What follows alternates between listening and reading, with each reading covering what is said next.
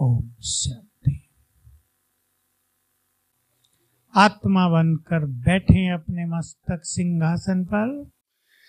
जिम्मेदारियों में हल्के रहना, जिम्मेदारियों को एंजॉय करना, जिम्मेदारियों में सबको अपना साथी बना लेना, और यहाँ तक कि भगवान को भी अपना साथी बना लेना, यही एक ज्ञान युक्त और शक्तिशाली आत्मा की पहचान है। हम सभी को बाबा ने श्रेष्ठ ज्ञान दिया है। हमारे अंदर किसी भी ज़िम्मेदारी को मिलने के बाद तुरंत भारी होने का संस्कार नहीं होना चाहिए। जिम्मेदारियों को पूर्ण करने की शक्ति हमारे पास ही है, तभी तो हमें जिम्मेदारियाँ मिली हैं। चाहे आपने उस तरह के कोर्स किए हैं या नहीं किए हैं, अनेक योग्यताएँ मनुष्य के अंदर समाहित होती हैं। पहले कहाँ लोग डिग्री होल्डर हुआ करते थे? बड़े बड़े किले लोगों ने बनाए कहाँ आर्किटेक्ट और इंजीनियर होते थे? ऐसे किले बनाए जिनको तोपे भी हिला नहीं पाती थी। तो बुद्धिमानी, टैलेंट्स, शक्तियाँ हमारे अंदर ही समाई रहती हैं। हम अगर भारी हो जाते हैं तो दब जाती हैं।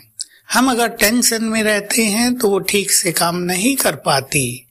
हम उन्हें कार्य करने दें, उनके लिए खुला मार्ग छोड़ें, अपने को सरल चित्त रखें। बाबा की एक बहुत सुंदर बात, अगर बाबा हमें ज़िम्मेदारी देता है तो हम उस ज़िम्मेदारी को बाबा पर अर्पित करके निभाएँ। तो बाबा उस ज़िम्मेदारी को निभाने में बहुत हमारी मदद करता है। सोच लें जिनको भगवान ही साथ दे रहा हो, जिनके आह्वान पर वो दौड़ा चला आता हो, जिनके मन के बोझ सारे हरने के लिए, मन को हल्का करने के लिए वो तत्पर रहता हो। उन्हें भारी होने की कोई ज़रूरत नहीं। तो सभी अपनी जिम्मेदारियों को एंजॉय करें। चाहे आप गृहिणी माता हैं आपको घर को संभालना है, आपको ज़्यादा बच्चे हैं, उन्हें संभालना है, कोई कैसा है, कोई कैसा है। चाहे आपके पास कोई डिपार्टमेंट है, उसे आपको संभालना है। चाहे आपके पास कोई बड़ी ज़िम्मेदारी आ गई, उसे आपको संभालना है। याद रखेंगे, मनोस्थिति अगर नहीं बिगड़ेगी तो ज़िम्मेदारी सहज ही पूर्ण होती जाएँगी। हर व्यक्ति आपका सहयोगी बनेगा, और घरों में तो आपकी स्थिति जितनी श्रेष्ठ रहेगी, उतना ही गुड प्रभाव, गुड इफ़ेक्ट सभी बच्चों पर और मेंबर्स पर होगा। परिवारों में तो यही होता है कि किसी न किसी का स्वभाव, संस्कार मनुष्य को भारी किए रखता है। जिम्मेदार लोगों पर वो बोझ बन जाता है। किसी भी कर्म भोग के कारण ऐसी स्थिति आपके परिवार में पैदा भी हुई हो तो आपको बहुत ज्ञान युक्त और बहुत हल्के रहना चाहिए। हर एक की चिंता कहाँ तक आप करेंगे? यदि आप हर एक की चिंता करने लगे हैं तो आप अपनी चिंता करना भूल जाएँगे। और जिनकी चिंता आज आप कर रहे हैं, वो आपको कभी साथ नहीं देंगे। आपको रोता हुआ छोड़ जाएँगे कि लो, तुम्हें भगवान भी मिला और तुमने कुछ नहीं पाया। तुम हमारी चिंताओं में ही लगे रहे। तो जिन्हें अपनी खुद की चिंता नहीं है, जिनके पास सदविवेक नहीं है, उनकी हमें चिंता क्या करनी है?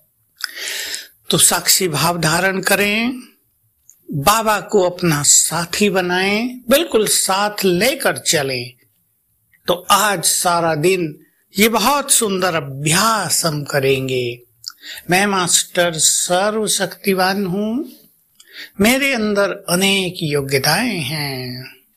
मुझे शक्ति प्राप्त है अपनी जिम्मेदारियों को सहज रूप से चलाने की, अपनी शक्तियों को पहचानते हुए सारा दिन विजन बनाएँगे, सर्वशक्तिवान सिर के ऊपर छत्र छाया है।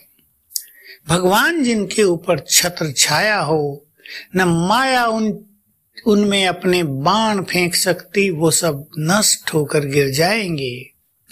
न और कोई बाधाएँ और समस्याएँ आपको आगे बढ़ने से रोक सकती हैं। तो सारा दिन सर्वशक्तिवान की छत्र छाया में रहते हुए आज का दिन व्यतीत करेंगे, बहुत हल्के रहेंगे, भारी होने की आदत नहीं। भारी स्वयं भारी होंगे तो ज़िम्मेदारी भी भारी हो जाएँगी, स्वयं हल्के रहेंगे तो जिम्मेदारियाँ भी हल्की हो जाएँगी, सहयोगी मिल जाएँगे, सब आपको कोऑपरेट करेंगे।